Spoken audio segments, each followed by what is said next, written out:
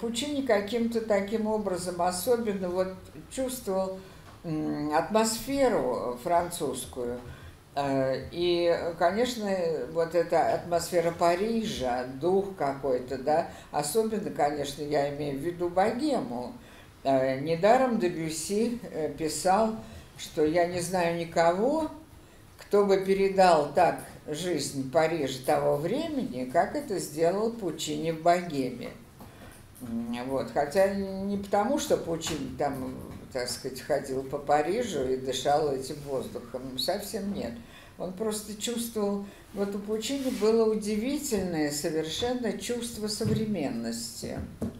И мы видим, что эволюция его творчества, она как раз совпадает как бы с теми тенденциями, которые в это время э, вообще развивались в художественной жизни Европы. Удивительным образом, вот он это чувствует как-то. Ну, скажем, вот э, опять же, богема, да, где Париж-то, да, э, вот в богеме как раз еще ведь почему Дебюсси это увидел?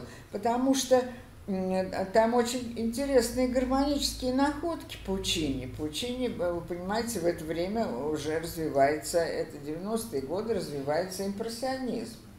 И гармония в богеме очень интересная. Ну, а что касается, скажем, его оперы Чоусан, ну, понимаете, что э, работая над вот, оперой Чо Чоусан, он, конечно, очень серьезно занимался изучением э, японских песен. Он включает туда японские песни.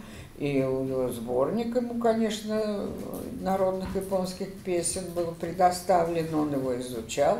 Вот. И э, мы понимаем, что это начало 20 века уже, и вспоминаем какие-то картины Матисса, и понимаем, что это действительно период, когда в Европе был колоссальный интерес э, ко всему японскому, и, э, скажем, там э, привозили какие-то вазы японские, ширмы японские, да, какие-то вот такое вот искусство, ну, японский дизайн, вот это вот все очень привлекало в Европе. И он, э, так сказать, его интересы тоже перекликаются с этим.